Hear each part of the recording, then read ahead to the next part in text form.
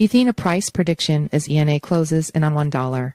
Is it time to buy? Simon Chandler last updated May 6, 2024 842 EDT 3 minute read.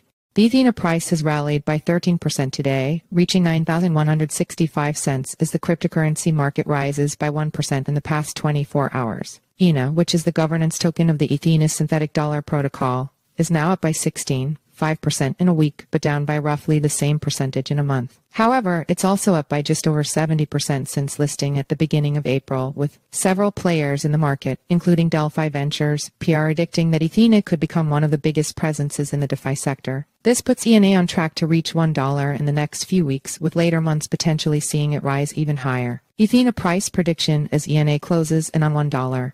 Is a time to buy? ENA's indicators are in very bullish positions at the moment, and while they are close to overbought territory, there still seems to be some space for further gains in the near term. Its relative strength index purple rose to 80 earlier this morning, and while this could be a dangerous level, it has begun rising again after dipping just below 70 in the past couple of hours. Also bullish is ENA's 30-day average orange, which has today crossed over the 200-day blue, signaling that the coin is in the middle of a breakout phase. The coin's 24-hour trading volume has also risen slightly today at $400 million, although this is still some way off the levels of around $3 billion witnessed in early April when it listed. What's particularly encouraging right now is that whales appear to still be accumulating ENA, implying that it likely has more gains in store in the coming days and weeks. On top of this, analysts have been predicting big things for ENA in the medium and long term, with Delphi recently predicting that Ethena will become the highest revenue generating project in all of crypto. These are strong words, yet Ethena does seem to have good prospects. It launched early last month as an Ethereum-based stablecoin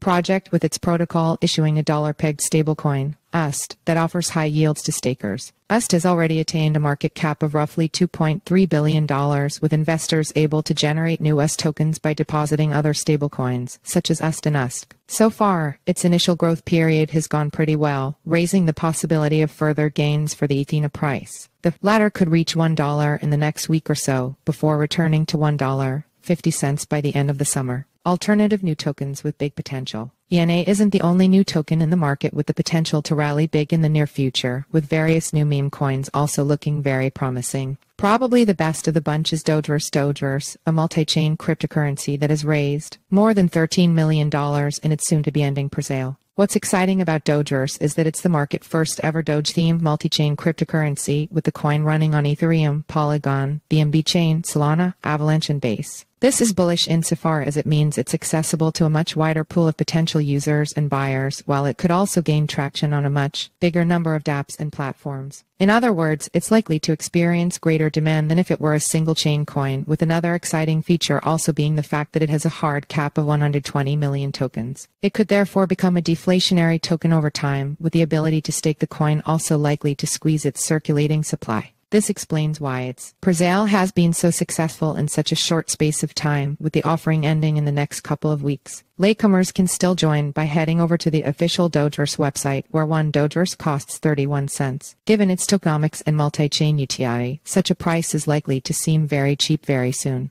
Buy Dogeverse today. Follow us on Google News Disclaimer crypto is a high-risk asset class. This article is provided for informational purposes and does not constitute investment advice. You could lose all of your capital.